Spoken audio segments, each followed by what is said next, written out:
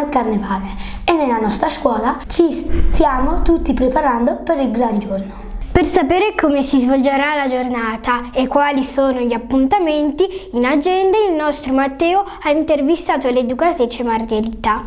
Sentiamo cosa ci ha raccontato. Siamo qui con Margherita che si occupa del Ceriolis Got Talent. Margherita, ci vuoi ricordare di che cosa si tratta? Ciao Matteo, allora siamo alla seconda edizione del Ceriolis Got Talent, come dice il nome eh, è un talent show, abbiamo preso spunto dall'Italia's Got Talent che va in onda eh, alla tv e è un talent in cui chi vuole può proporre la sua esibizione che verrà vista e giudicata da fondamentalmente noi educatori per quanto riguarda la parte delle audizioni. Chi poi eh, riuscirà a passare le audizioni arriverà alla finalissima e verrà giudicato da qualcun altro. Ci sono tanti iscritti e quali sono le esibizioni principali? Allora sì, le iscrizioni sono andate bene, abbiamo una trentina di artisti che hanno deciso di mettersi in gioco. Abbiamo cominciato le selezioni lunedì e oltre ai vari canto, ballo e recitazione, quest'anno, come fanno quelli seri, avremo anche delle esterne. Eh, perché ci sono delle esibizioni particolari che non possono essere fatte sul palco e quindi insomma però non posso svelarvi troppo. C'è qualche novità rispetto allo scorso anno? Allora, confermati i quattro giudici alla finalissima, eh, in più quest'anno abbiamo pensato di inserire una giuria popolare, eh, presa probabilmente, chi lo sa, tra gli alunni, eh, ma è una sorpresa anche questa, quindi purtroppo mi fermo qua. Quando andrà in scena? Il eh, Cereales Got Talent andrà in scena eh, nella mattinata della grande festa di Carnevale.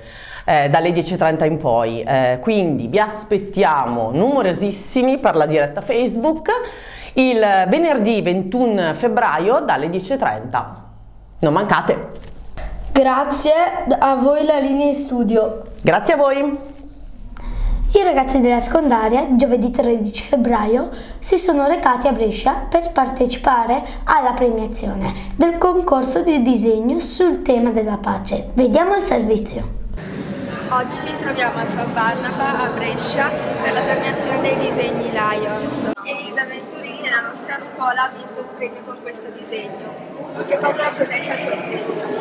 Il mio disegno rappresenta dei bambini che di varie nazionalità, in bianco e nero, e per significare che siamo tutti uguali, che camminano su una strada colorata che porta verso la pace.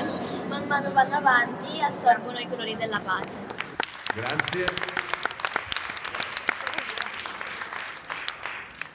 Che cosa hai provato oggi ricevendo quel premio? Ovviamente felicità e poi ero emozionata. Al Grinido i piccoli hanno provato una nuova e bellissima esperienza.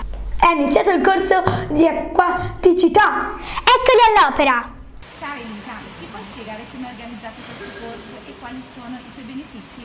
Allora, questo corso è, è strutturato dividendo i bambini in base all'età. Partiamo dai 3 ai 12 mesi, dai 12 ai 24 e dai 24 ai 36 mesi. Attraverso il gioco eh, andiamo a stimolare gli schemi motori principali, favoriamo la creatività del bambino e andiamo a cercare l'autonomia acquatica eh, rispettando i tempi eh, di ciascuno. Quali strategie adottate per far sentire a proprio agio i bambini? Allora, prima di tutto rispettiamo l'esigenza del bambino.